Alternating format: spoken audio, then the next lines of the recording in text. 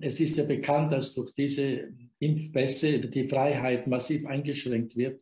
Die einzelne Person wird dann unter der totalen Kontrolle gestellt äh, des Staates, also eine totale Übersicht, wo man sich bewegt, wo man sich befindet.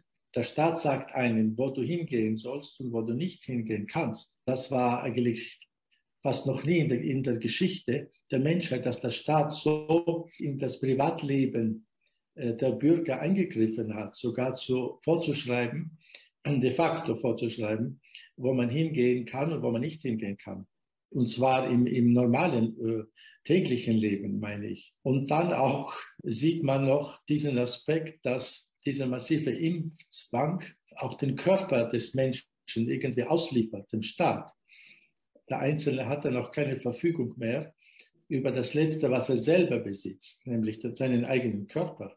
Es ist schon wiederholt gezeigt und bewiesen, dass diese Impfung, die sogenannte Anti-Covid-Impfung, äh, wirklich negative Folgen hatte, gesundheitliche, bei nicht wenigen Menschen. Es wäre unmoralisch in diesen Umständen, dass da ein Priester oder die Kirche die Impfung empfiehlt.